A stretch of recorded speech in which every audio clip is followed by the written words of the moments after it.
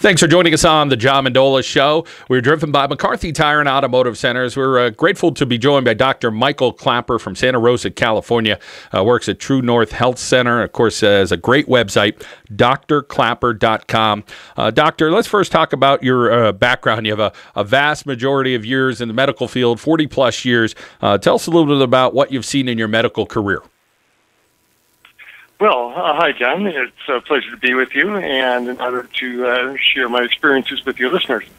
Uh, well, I uh, obtained my standard medical school education, graduated from the University of Illinois College of Medicine in Chicago in 1972, and I practiced uh, standard uh, Western medicine, in general practice, for seven years, and then went back uh, for training in preparation to practice out in a rural hospital. I went back for additional training in surgery, and anesthesiology, orthopedics, plastic surgery, and obstetrics at the University of California in San Francisco. And I uh, practiced a pretty standard brand of medicine. And something started uh, creeping into my awareness uh, as the years went by. I was still a young doc, but I realized that one, uh, most of my patients were not getting healthier. I was uh, just juggling their medications and fiddling with their diabetes and their high blood pressure, but I really didn't know what to tell them to get themselves healthier. And I eventually left general practice, went back to do anesthesia training, finished my residency in anesthesia. And I was on the cardiovascular anesthesia service where I was putting people to sleep every day and watching surgeons open up their and open up their arteries and they um, uh, and they displayed uh, this yellow, greasy duct in their arteries that, um, uh, that turned out to be what's called atherosclerosis. It's uh, made up of fat and cholesterol, largely from our current standard American diet. And uh, it really got me thinking. Uh, my dad died of clogged arteries. I knew I was going to wind up on that operating table one day. And I realized that uh, I was eating the same type of uh, standard American diet full of uh, of uh, animal products that uh, send waves of fat through the bloodstream uh, hour after hour, day after day. So I uh, decided to change my own diet. I changed to a plant-based diet, lots of uh, big salads and hearty uh, lentil stews and bean burritos and uh, big salads and colorful fruits. And wonderful things happened uh, in my own body. Uh, a 20 pound spare tire of fat melted off my waist. Uh, my cholesterol uh, had been 240, dropped down to 140. My elevated blood pressure had been uh, 170 over 100, and it dropped down to 11070, where it remains today. And I felt great waking up in a nice, lean, light body every day. And so I realized I now knew uh, what to tell my overweight, uh, high blood pressure patients, and so much so that uh, I left anesthesia. Um, I had just six months to go in my training, but I didn't want to spend my career putting people to sleep. I'd rather help them wake up. So I uh, went back to general practice, and for the past 30 years, I've been practicing nutritionally based medicine, uh, helping my patients transition to a plant based diet and it's turned out to be the most satisfying medicine I could imagine. Uh, my patients who are able to make this transition uh, find the same wonderful changes happening in their body. They get leaner and healthier, their blood pressures go down, and things that I was told never happened uh, as far as getting people off their high blood pressure pills and off their insulin for their diabetes started happening. And uh, I was indeed able to um, to get them off their high blood pressure pills. In fact, I had to. They were standing up and passing out because their blood pressures were too low. And uh, so I'm the happiest doc I know. My patients get healthier now, and I practice nutritionally based medicine that your uh, viewers can or listeners can uh, check out on my website. And it's turning out that plant-based nutrition is uh, is clearly going to be the wave of the future. It's the way medicine is going to be practiced. And so I find myself on the forefront of this very exciting chapter of medicine, and uh, and I tell my patients about it, and uh, and tell my colleagues about it, and, and they're becoming more and more accepting as well. So yeah, it's fun to be in, in, an exciting chapter of medicine, and nice to share it with your uh, with your listeners. Talking with Dr. Michael Klaper, You can check out his website as you see it on the screen there. It is D O C T O R K L A P E R dot com, dot com. Well, doctor, you talk about a plant based diet that you uh, encourage people to have, and you do it yourself. Uh, you're living by it. Uh, tell us about some of the vegetables that uh, you recommend to eat and that you do eat, and uh, I'm sure most of them are pretty darn good for you. Yes. Well, uh, in the morning, um, I have a big bowl of oatmeal with some all the colorful fruits I can find, uh, berries and uh, bananas, etc. Um, though, if you're, by the way, a, a tip for your weight loss patients: if you're trying to lose weight and you're not hungry in the morning, don't eat. Uh, don't eat breakfast. That whole idea that breakfast is the most important meal of the day really is not true. And uh, if you're trying to lose weight, you know, you burn fat all night, and as soon as you have that morning carbohydrate, the fat burning comes to a halt there. And so the physiologists down at University of California, San Diego are telling us uh, if you're not hungry in the morning, don't eat. It's called intermittent fasting. And just do, drink water till noon. And um, and and it really accelerates the weight loss. So uh, I, I'm a lean guy, so I enjoy breakfast in the morning. But if you're trying to lose weight, feel free to just drink water in the morning uh, until noontime. So just a tip for your uh, both trying to shed a, uh, a big belly that they're having trouble doing there. But so that's breakfast. But uh, come lunch and dinner, boy, I eat a lot of wonderful food. Uh, every lunch and dinner has a big, colorful salad. Now, uh, lots of uh, uh, dark leafy greens, romaine lettuce, and uh, spinach, etc., and, and uh, fresh carrots and bell peppers and everything I can find in there. The uh, some nutrition docs say that the salad is the main dish, and they're right. So people should have a big fresh salad at least once a day, if not twice a day, lunch and dinner. And uh, my main dishes are um, uh, really hearty vegetable soups, and uh, uh, with all the vegetables you can think of. There's usually a, a whole grain in there, buckwheat or millet or barley or um, uh, quinoa. Uh, but uh, again, uh, you know, carrots and bell peppers and mushrooms and uh, you know everything that uh, looks good in the produce department. Chop it up and put it in your in your soup and uh, season it in any international way you would like uh, Italian style, East Indian curries, and Mexican chilies. Uh, uh, have fun with the seasonings. Um, and so uh, they're really easy to make. And it's nice to put them in a crock pot overnight. You, before you go to bed, throw all the ingredients in the water and the lentils and the beans in the crock pot and put the lid on and hit the button go to bed. And it cooks all night. Next morning, there it is available for you there. So, uh, so these big hearty soups and stews are, are uh, a mainstay of my lunches and dinners. And then there's always a side dish of dark leafy green vegetables. They're, they're so important because, first of all, that's where the cows get their calcium. I mean, cows don't drink milk. You know, where, where do they get all their calcium? They put in their bones in their milk. They get it from the green green grass that they're eating all day, and that's where we should get our greens as well, our calcium as well. Plus, the green vegetables have all sorts of phytonutrients to prevent Alzheimer's, to keep your immune system strong. So, big helpings of kale and chard and broccoli and Brussels sprouts and, and asparagus, anything that's dark and green. If you like it, buy it, rinse it off, throw it in a steamer, vegetable steamer for five minutes, put it on the plate squeeze some lemon juice over it or some these flavored vinegars or a healthy salad dressing. Uh, so there's always a uh, big helping of green, uh, dark green vegetables on, on the side there. Yeah, as well as yellow vegetables. As long as you're steaming up some greens, uh, throw in some carrots or squash or sweet potato chunks and uh, green and yellow, green and yellow should be your favorite colors when it comes to the vegetables there. And um, so my plate again uh, also contains a um, a healthy starch, either a, a sweet potato, white potatoes are okay, um, but uh, as I said, a plate full of quinoa or barley or millet or any whole grain, and then pour some gravy or spaghetti sauce over over those. So uh, my my dinner, lunch and dinner plates have um, have a nice helping of a healthy starch. There's always some steamed green and yellow vegetables. There's a big salad and a hearty soup and uh, and then I have fruit for dessert. I have a mango or some bananas, etc. So um, that's how I get through the day. I eat a lot of food, but the beauty of this food doesn't stick to you. Uh, you know, I mean, it doesn't matter if you have three bowls of vegetable soup and two helpings of kale and and three bowls of salad. It, it's mostly fiber and water. So the glory of this kind of plant-based eating is you, you can eat all you want and you still wind up lean and healthy. You don't have to worry about calories and portion control and all that stuff. Just just eat till you're until you're full, and go and take a walk every day, and uh, you wind up lean and healthy. And you stay out of the clutches of people like me. so don't have to go to the doctor so often. Dr. Michael Klaper here on the John Mendola Show. Uh, doctor, you talk about fiber and, and tell us a little bit about uh, eating fibrous foods and, you know, whether they're vegetables or fruits or they're grains. Uh, tell us about concentrating on those with the, getting a lot of fiber through your system every day.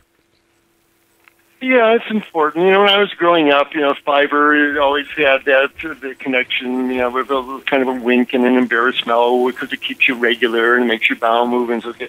But we're finding out now that uh, fiber has a tremendous role to play. And what we're talking about, first of all, just chemically, uh, is the part of the whole plant that uh, that is not absorbed and uh, brought into your bloodstream uh, for nutrition, but it stays in the intestinal tract and uh, and helps um, uh, have helps you have normal bowel function. Um, one, it certainly keeps um, the food mass, the fecal mass, moving through the intestines well. Uh, so that makes it the you know the the best the most effective treatment for constipation. And it's one of the first things people notice is uh, the folks who always had to take their laxatives because they were having these hard stools.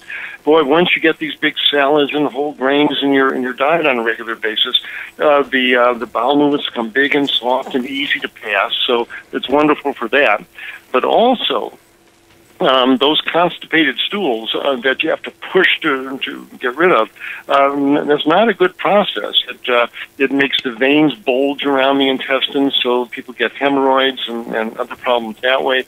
And because um, uh, the, the stools with not enough fiber take so long to pass through the intestines that if there's any carcinogens and any cancer causing substances that have been eaten from, from grilling the food or whatever, the, the, the slow moving stool gives those carcinogens a long time to rub against the colon, and that increases the risk for setting off a colon cancer. So the fiber, you know, way cuts down on the risk of, of colon cancer but we're learning so much about the intestinal tract and, its amazing function in the body. It turns out that the bacteria that live in our intestines, those wonderful microbiome organisms, um, many of them down in the colon will actually digest what we thought was indigestible fiber. These bacteria will digest some of that fiber especially those in beans and lentils and other legumes.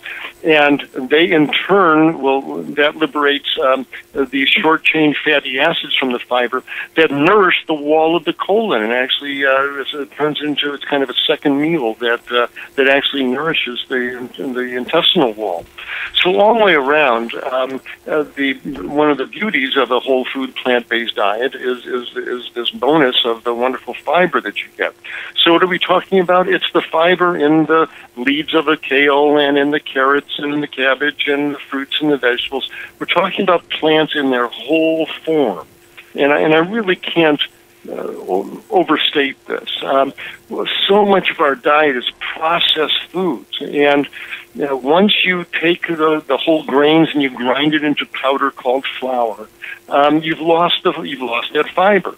Now, once you uh, uh, turn, you know, once you blend up or or otherwise, it, you know, turn the potatoes into chips and and the corn into corn chips, you've you've lost the fiber and and um, and all the wonderful benefits that come from that. So, if I can say, you know, if you get it down to one sentence, um, you want you want to eat food as grown, like it was growing in the field. As you recognize, ah, that's an ear of corn as opposed to corn chips. Uh, you want to eat potatoes, not potato chips. So going back to what I originally described, those big salads are full of fiber. Those that those big helpings of dark leafy greens and, and yellow vegetables, they're full of fiber. The whole grains, the quinoa, the barley, the millet, those are that's full of fiber. So it's the whole plant foods. Um, if, if you eat them in an unadulterated form, you can be sure of getting lots of all this wonderful fiber, and you're going to get all the benefits from it. And uh, you won't spend any money more money on laxatives, and hopefully you won't spend money on doctor's visits either.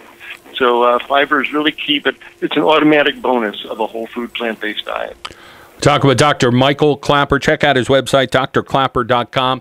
Uh, doctor, we deal with a lot of young student athletes uh, in our area, high school, co- college, a lot of amateur athletics, uh, and they they could uh, get just as much nutrition as they're ever going to want uh, eating some of these foods. And, and talk about uh, you know the big sticking point always seems to be the protein source, but plants are that source for them if they choose to take them and, and take them in a healthy way. Oh, absolutely. I really get concerned when I see these young bodybuilders in the gym. You know, God love them. It's wonderful they're working out. Uh, but then after the workout, they go mix up a smoothie and they throw in a hundred grams of of uh, powdered protein in there, and they bolt it down. And oh, I got to have this protein for my uh, for my muscles. Uh, but that's not, in my opinion, a wise thing to do. Um, one, um, uh, that much concentrated protein is not gentle with the kidneys. Uh, that's a huge bolt of, of concentrated protein that bangs into the kidneys, and it stresses the kidney, stresses the liver. Uh, when you know in the hospital, when people go into kidney failure, the first thing the nephrologist does put them on a low protein diet they know how harmful this concentrated protein is to the uh, to the kidneys, uh, and uh, so I get really concerned about these young guys banging down all this concentrated protein powder. And second, there's really no need for that. If you think about it, the biggest animals, the most powerful beasts on the planet, elephants, buffaloes, giraffes, bulls, they grow to thousands of pounds of mammalian muscles without ever eating cheeseburgers and pepperoni pizzas. Um, all the protein that's that's you need for your muscles are found in the plant foods, and there are some that are especially rich in protein, and those are the legumes. Anything that grows in a pod is a legume. Beans, peas, chickpeas, lentils. And so if you have a big helping of something that has some legumes in it every day, a big bowl of lentil stew, a bean burrito, uh, a big hummus sandwich made of chickpeas, now you're going to be getting plenty of protein. In fact, you just, if you do the math, you, you can't eat 2,000 calories of a whole food plant based diet with lots of, of, of, legumes in it without guaranteeing yourself 60, 70 grams of high grade protein. So it's really unnecessary uh, to. Um, uh, to uh, uh, to worry about the protein, it's very unnecessary and I think harmful to, to take extra amounts of these concentrated protein powders. And and if you want some visual proof here, I invite your readers to go on YouTube and uh, and do a search for this name, Frank Medrano, M E D R A N O. Frank. Now he's a bodybuilder fellow down in Long Beach, um, and he's a completely plant-based guy. And you watch, you put, a, you click on his insane workout, and you watch this young man who is ripped as far as his muscles go. He's com- he completely fuels his body on 100% plant-based food, and uh, and you'll and you'll watch these stunning slow motion chin-ups and and one-handed push-ups that he does, and and you'll see you you absolutely don't need uh, uh, to eat a bull to be as strong as one. That's for sure. And if you just go on uh, go on Google Images and type in vegan bodybuilder, you'll see these magnificent physiques there. Uh, again, constructed on complete plant-based food. So if you think you need uh, extra protein, ask any gorilla where he gets his protein, and it, and it all comes from plant-based food. So I'll tell your readers not to relax, but you have your lentil stew and your bean burritos, and uh, not made with too much grease there, and you'll uh, and you'll wind up plenty of protein. So uh, so so relax about the protein. Just eat full plant foods, and and you'll be fine. Dr. Klaper, your job at True North Health, uh, you deal with people maybe that uh, may need to go on water fast. It's a little bit uh, of an area where it's a very small uh, percentage of the population that you may ever see in that regard. But for the person that may want to visit your website or maybe uh, visit a webinar or possibly get some advice through, um, you know, Skype or what have you, uh, tell us about what people can do to to maybe start making some better better choices. I mean, some people I think have it in them to stop on a dime and change everything. Other people may take some need to take steps. Absolutely. And uh, there's wonderful resources available. And um, I will invite people to, uh, to check out a couple of websites. Yes, uh, I work, I'm a staff physician at uh, True North Health Center in San in, uh, in Santa Rosa, California. We're about an hour north of San Francisco. And um, yes, uh, we do um, uh, we do water fasting here to, for some patients, and it's a useful uh, therapeutic tool. If people walk in with runaway high blood pressure, out of control diabetes, absolutely, a water fast is a very powerful tool to lower that high blood pressure, uh, clear out their diabetes, makes migraine headaches go away, clears out asthma, uh, clears out inflamed joints. It's a very powerful therapeutic tool uh, done under medical supervision, and we have MDs on staff here to do that. Um, but again, we make it very clear that it's not about the fast. Uh, no matter how long a fast that you do, uh, what really matters is what you eat after the fast. Because uh, if you fall back into into uh, into cheeseburger and olive oil land there after the fast, then then all the good that you've done in the fast is undone. What, what really matters is that healthy, whole food, plant based diet pouring through your body day after day, week after week, month after month. Uh, if you do that, you don't. Nobody needs to fast. Uh, then that's really where the therapeutic magic is. It's in a healthy, whole food, plant-based diet.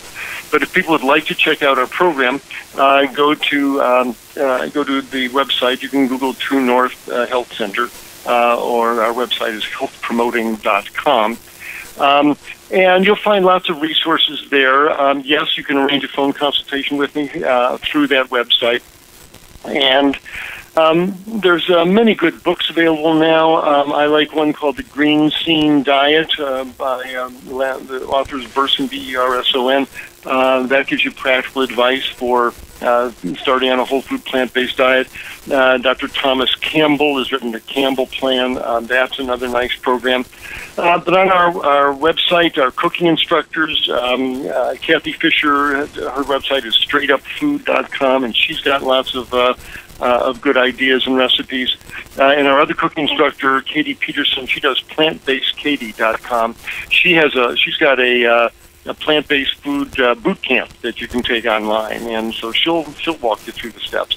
So there's no end of uh, good resources, but you started out by checking out our website, um, healthpromoting.com, and that's True North website, and uh, and you can arrange a uh, phone consultation or a Skype consultation with me uh, through that website. And of course, Dr. Uh, Goldhamer and Dr. Lisle uh, involved there with True North Health. They do a fantastic job, and, and what Dr. Lisle does on the uh, the psychological end, I think, is outstanding as well. Well, Dr. Klaper, want to thank you for your time and your in, incredible information that you gave us today. Again, the website, doctorklaper.com, if you'd like to find out more information. Uh, we appreciate your time and thank you for sharing a little bit about your nutrition based medicine. Thank you, John. It's uh, been an honor to speak with you and uh, great to share this information with your listeners, and I wish them all the best of health and happiness. Take care. Dr. Michael Klaper here on the John Mendola Show. We are driven by McCarthy Tire and Automotive Centers.